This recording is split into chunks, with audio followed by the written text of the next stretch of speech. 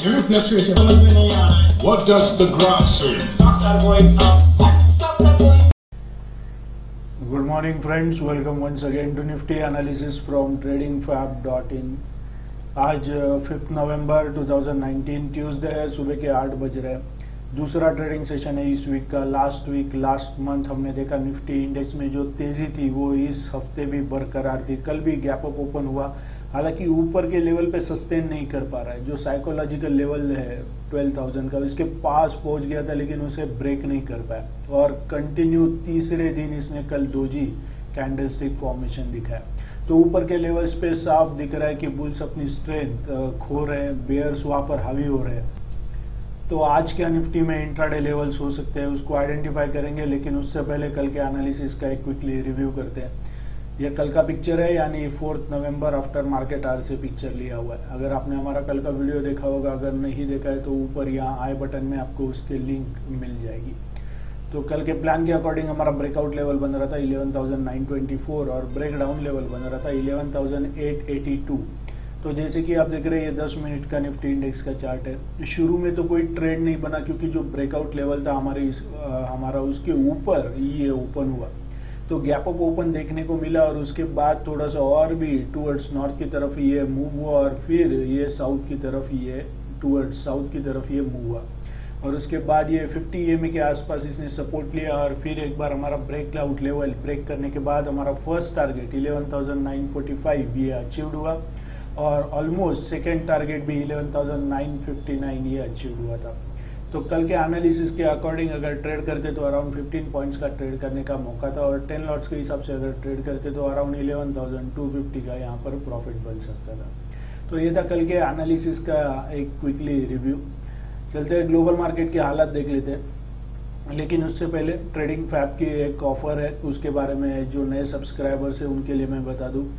अगर आप ज़ीरो दा अपस्टॉक्स या फाइव बस इन तीनों में से कोई एक अकाउंट हमारे पार्टनर रेफरल आईडी के अंडर अगर आप ओपन करते हैं तो हमारे जो इंट्राडे प्रीमियम मेंबरशिप है, वो आपको एब्सोल्युटली फ्री में मिल सकती है। हम इंट्राडे ट्रेडिंग अपॉर्चुनिटीज़ हमारे प्रीमियम टेलीग्राम चैनल्स के ऊपर आपके साथ शेयर करते हैं। तो इसके लिए आपको जस्ट इन में से, तीनों में से कोई अकाउंट ओपन करना है। अगर आप अकाउंट ओपन करना चाहते हैं तो सिंपली आपको यहाँ पर क्लिक करना है। क्लिक करने के बाद एक पेज ओपन होगा।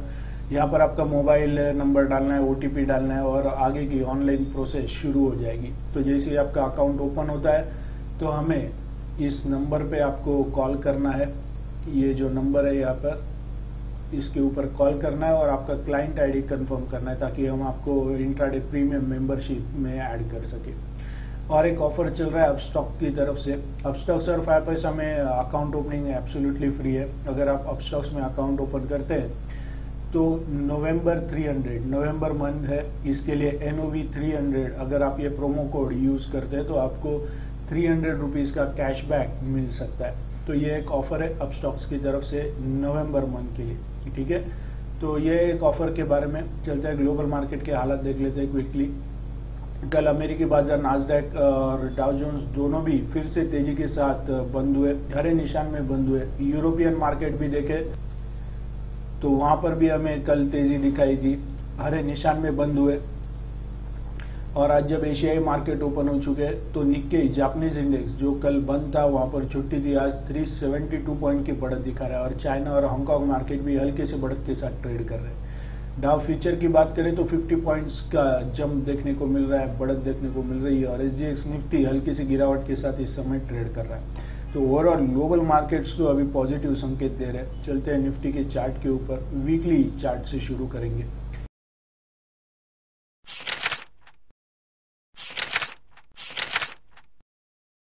यह वीकली चार्ट यहाँ पर हमने कप एंड हैंडल फॉर्मेशन दिखाया था। अगर आप हमारे प्रीवियस वीडियोस को फॉलो कर रहे हैं तो आपको यहाँ पर ये फॉर्मेशन का पता रहेगा।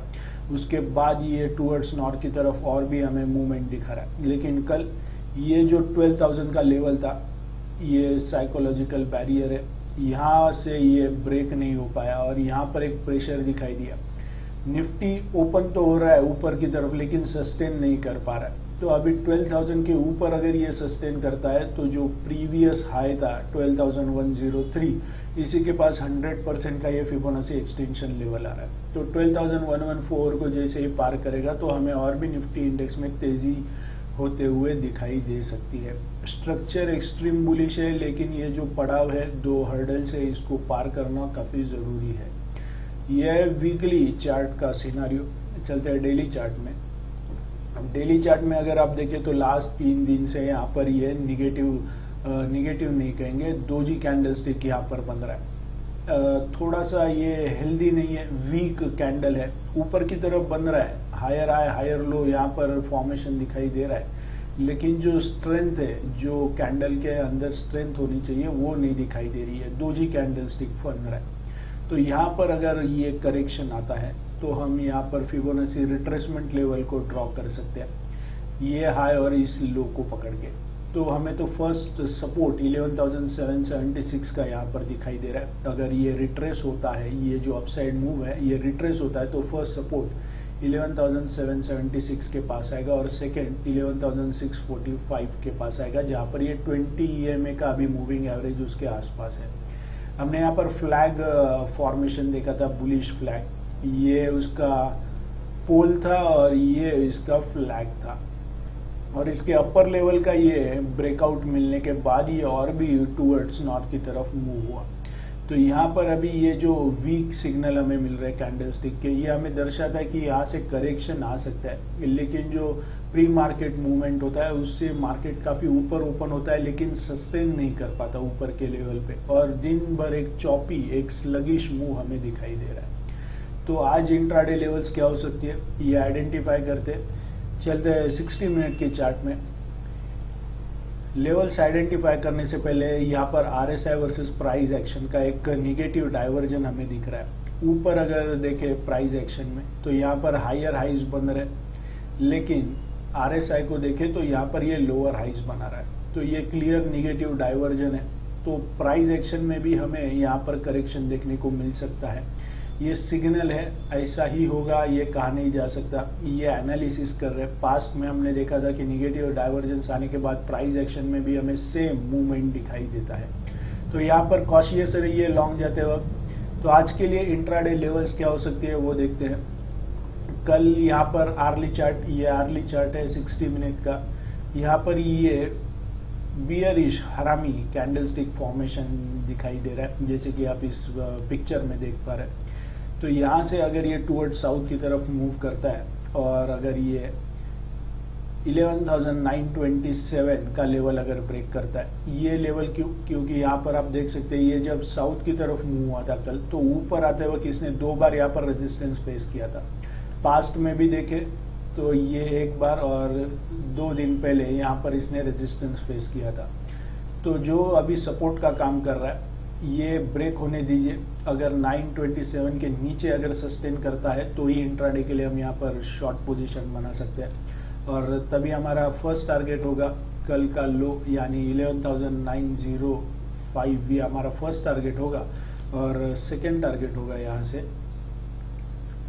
11,876 ये हमारा सेकेंड टारगेट होगा। और अगर टूवर्ड्स नॉर्थ की तरफ़ अगर ये मूव करता है तो ये जो बियरिश हरामी का फॉर्मेशन हुआ है इसका हाई यानी 11,957 के ऊपर अगर ये सस्टेन करता है तो ही इंट्राडे के लिए हम यहाँ पर बाय पोजीशन बना सकते हैं। और ऊपर में हमारा फ़र्स्ट टारगेट होगा 11,975 और सेकंड टारगेट होगा 12,000 ये हमारा सेकंड टारगेट होगा। अगर गैप अप ओपन होता है तो यहाँ पर ट्रेड ना लीजिए क्योंकि ऊपर के लेवल्स पे काफ़ी प्रेशर देखने को मिल रहा है। बुल्स अपनी स्ट्रेंथ को खो रहे हैं। तो गैप अप ओपन होता है तो वेट एंड वॉच करें।